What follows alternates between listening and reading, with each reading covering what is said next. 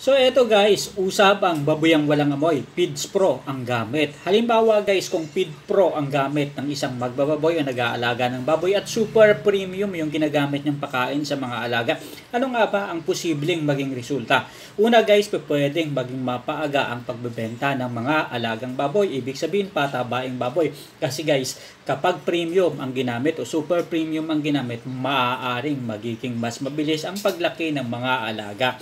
Ibig sabihin guys, sa loob ng tatlong buwan at dalawang linggo o tatlong buwan at isang linggo ay maaari nang magsimulang magbenta. Ibig sabihin mula pagkawalay ang bilang guys ha, hindi mula nang ipinanganak ang ating mga alagang baboy. Ibig sabihin kung mula pagkawalay tatlong buwan at halos isang linggo hanggang dalawang linggo ay maaari nang simulan ang pagbebenta. Dahil ito guys ay mag-average ng 85 kilos at kung dadagdagan mo pa ang time frame ng pag-aalaga, maaaring mapaabot mo pa guys ng 100 kilos. Mag-average din guys ng 2.3 kilos hanggang 2.6 kilos ang maaaring makonsumo ng mga alagang baboy sa panahon na yan.